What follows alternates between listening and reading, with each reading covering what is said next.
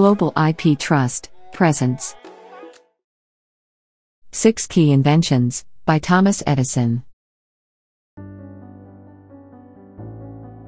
Thomas Edison applied for his first patent in 1868, when he was just 21 years old.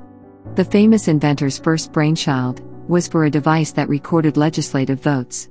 That was just the start of a career in which he would obtain 1,093 U.S. patents, in addition to another 500 to 600 applications that he either didn't finish or were rejected. In many cases, Edison's genius was taking a new technology that someone else had pioneered and developing a superior way of doing the same thing. In this video, we take a look at six key inventions by Thomas Edison. Automatic telegraph.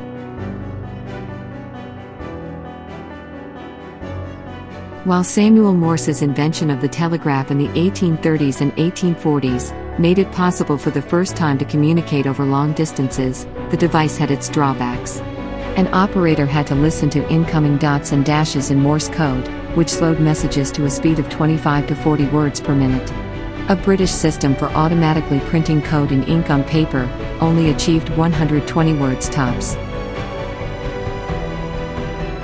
Between 1870 and 1874, Edison developed a vastly superior system, in which a telegraph receiver utilized a metal stylus to mark chemically treated paper, which then could be run through a typewriter like device.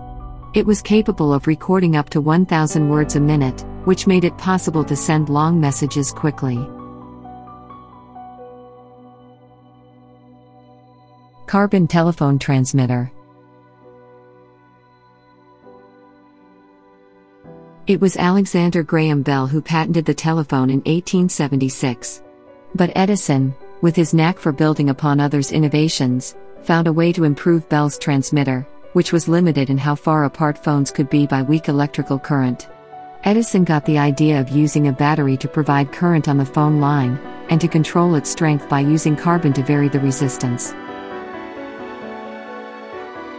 To do that, he designed a transmitter, in which a small piece of lampblack was placed behind the diaphragm. When someone spoke into the phone, the sound waves moved the diaphragm, and the pressure on the lampblack changed. Edison later replaced the lampblack with granules made from coal, a basic design that was used until the 1980s.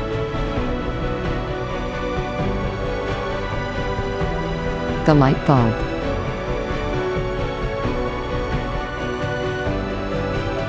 Contrary to popular belief, Edison didn't actually invent the incandescent light bulb.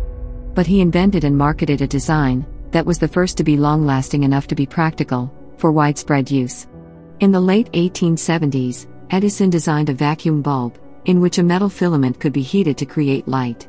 One night, after absent mindedly rolling between his fingers a piece of lampblack, the material he used in his telephone receiver, he got the idea for switching to a carbonized filament. After initially using carbonized cardboard, he began experimenting with other materials, and eventually settled upon bamboo, which possessed long fibers that made it more durable. Eventually, the combination of bamboo filaments and an improved vacuum pump that removed air more effectively enabled Edison to increase the lifetime of bulbs to approximately 1,200 hours.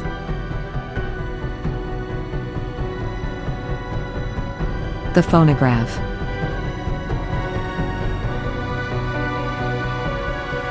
While developing his telephone transmitter, Edison got the idea of creating a machine that could record and play back telephone messages.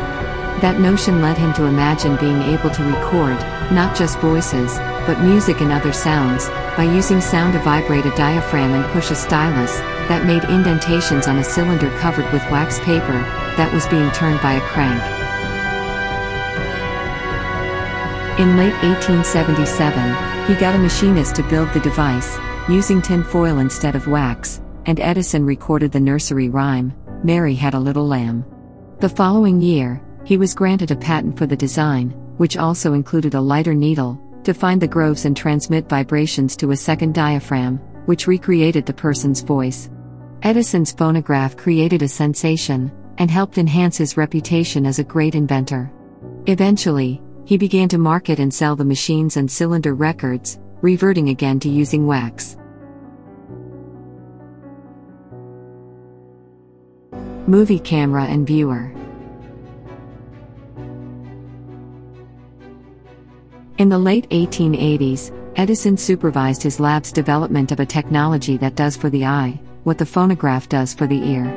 Most of the work on the kinetograph, an early movie camera, and the kinetoscope, a single person peephole movie viewer, was actually performed by Edison's employee, William Kennedy Laurie Dickson. Movies became a big industry, and Edison's camera and viewer were quickly replaced by innovations, such as the Lumiere cinematograph, a combination camera, printer, and projector, that allowed audiences to watch a film together. But Edison adjusted, and his company became a thriving early movie studio, churning out scores of silent films between the 1890s and 1918s, when it shut down production. Alkaline storage battery. When the automobile was developed in the late 1800s, electric vehicles were more popular than those equipped with gasoline burning internal combustion engines. But early electric cars had a big drawback the batteries they used were heavy and tended to leak acid, which corroded the car's interiors. Edison decided to take on the challenge of inventing a lighter, more dependable, and more powerful battery. After conducting extensive research, and the embarrassing flop of an early design, Edison came up with a reliable alkaline battery, and in 1910, began production of it. His work, however, was soon overshadowed by Henry Ford's development of the inexpensive Model T car, that ran on an internal combustion engine. Nevertheless, Edison's storage battery was used in mining lamps, trains, and submarines, and turned into the most successful product of Edison's later career.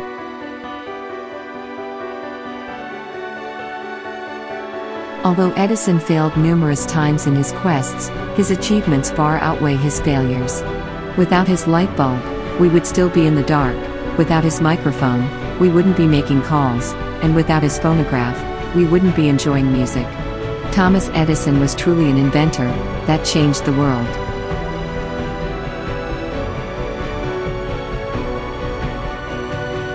Thank you for watching. If you enjoyed this video, do like, share and subscribe, and stay tuned for more.